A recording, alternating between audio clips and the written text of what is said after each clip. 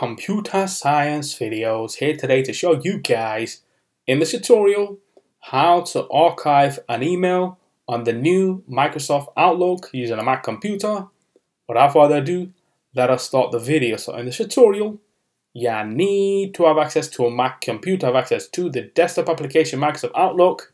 We can start the tutorial before I start this tutorial, I would like to say that you are more than welcome to subscribe to my channel, Computer Science Videos. As we know, every problem is solved by indirection.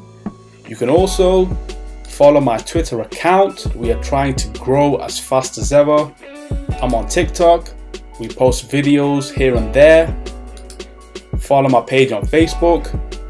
I'm also on Instagram you are more than welcome to support me on PayPal. Let's now focus on the video. So now let's go down to the dock.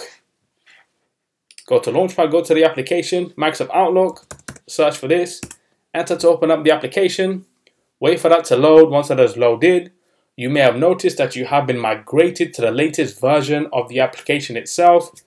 In this tutorial, we are looking to archive an email so let's now navigate to the inbox.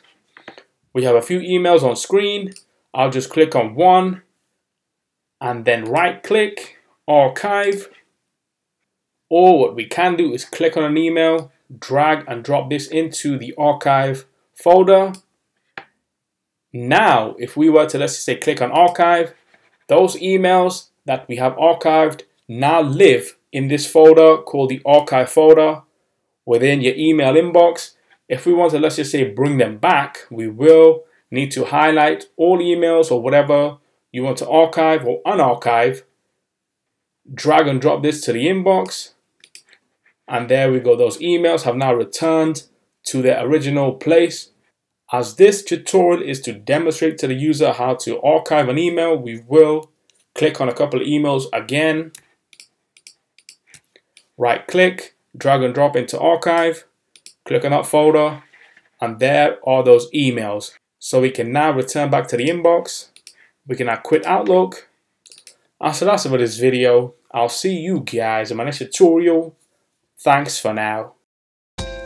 Thank you for making it towards the end of the video. Be sure to subscribe to my channel, Computer Science Videos. Be sure to check out the previous video on screen now or you can ideally click on the playlist and watch all the journey for computer science videos from the start until now.